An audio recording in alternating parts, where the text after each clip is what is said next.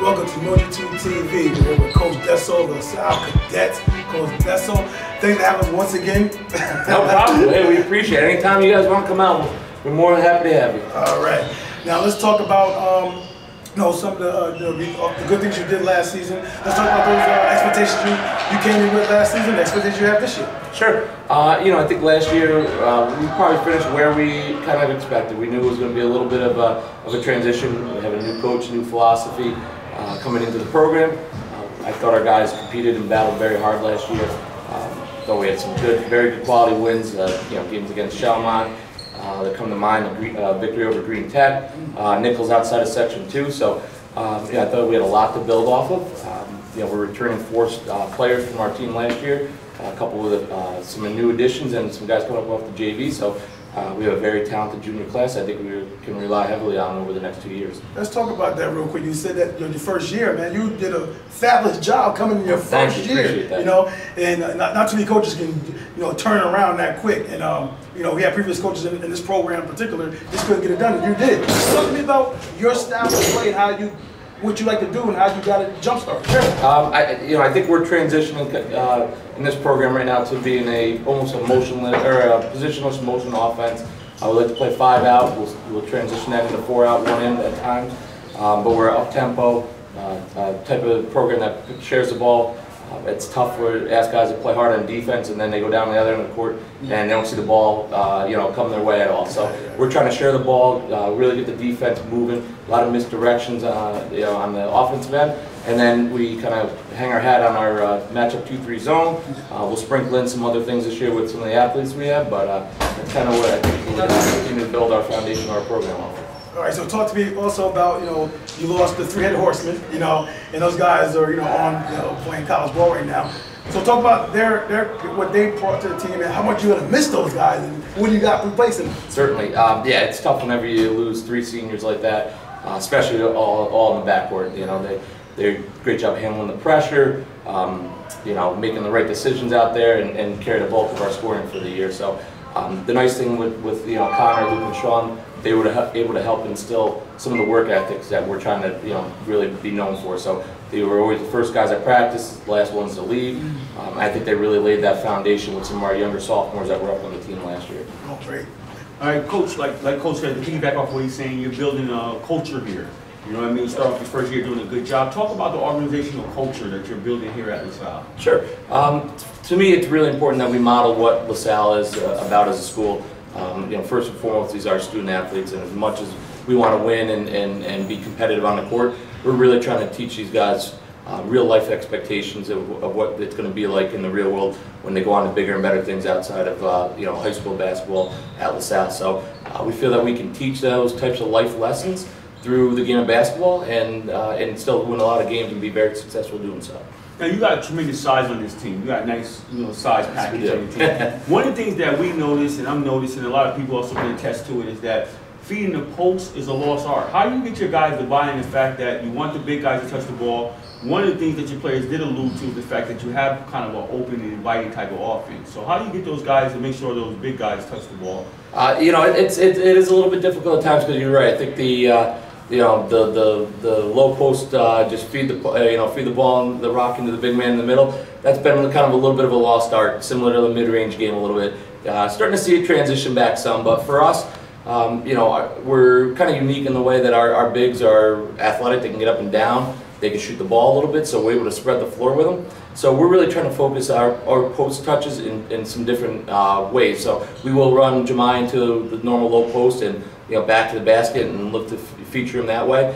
Um, we'll use uh, Owen, who's a phenomenal passer, uh, more out of the mid post where we can get him in some space where he can catch and square up, mm -hmm. um, dish the ball that way. Uh, but yeah, we're really trying to stress to our guys the importance of we need post touches every time down the floor, uh, particularly against the zone. Uh, if we get the ball inside, work inside out, we're going to have some success on the outside. Certainly. So obviously losing those three-headed horsemen, as we like to refer to them, um, lost some leadership there. Who are you looking to emerge as one of the team leaders that you're seeing right now, one of those guys that's going to step up in that um, position, in that role? Certainly. We, we have a, a, great uh, group of kids that are, are definitely, um, you know, in, into really building this program and taking the next step. but we're really gonna, uh, from a leadership standpoint, we go as far as Kalon Dixon takes us. He's kind of that guy, that energy guy. When he has great energy, playing hard, our team feeds off of that. Um, we have some other good leaders. Uh, Anthony Rattel is a senior who provides that, you know, that, that uh, level-headed thinking. Um, you know, really models uh, what our coaching staff is, is looking for and reminds some of the younger guys of that each and every day of practice. And then we have another junior, Gabe Lucarelli, who is, again, uh, kind of, I would almost say, a combination of, uh, of Kalon and Anthony. He is, uh, he's not quite as fiery as Kalon, uh, but he, but he will get in, uh, you know, get into guys if he needs to. Uh, and he brings that calming presence when he's out on the floor as well. So talk to us a little bit about dealing with the modern athlete today. I mean, right now in practice, we saw Kalon right now um, say, Coach, you want me to do this? I did that. You know, having that open dialogue, being able to express themselves. Tell me how you approach dealing with the modern athlete. Yeah, it, it's it's different. It's different. Uh, you know, just for me when I played, if you know Coach Fruscio, I played for Co- Coach here at uh, at LaSalle. If he said to run headfirst in the wall, we were doing it. We, we know if we didn't, we weren't going to get in.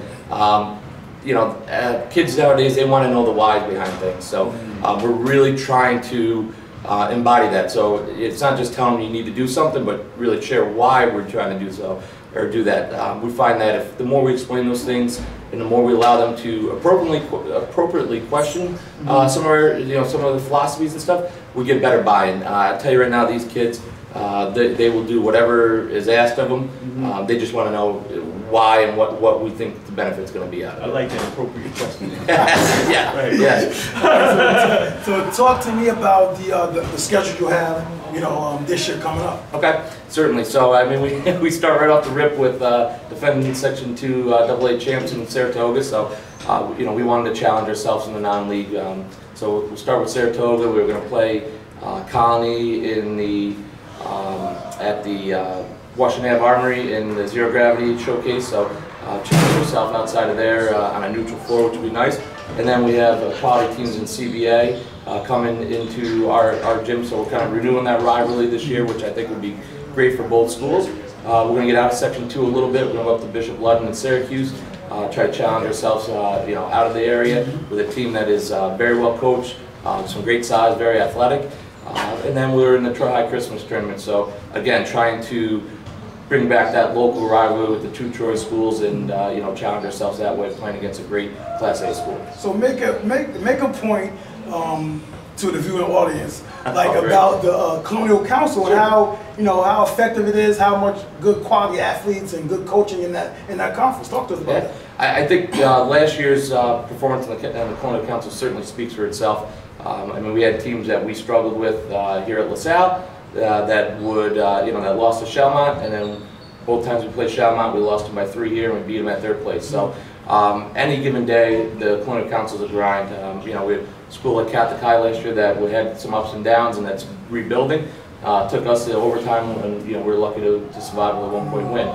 So uh, the Colonial Council is a much stronger league than I think uh, you know a lot of people in Section Two realize.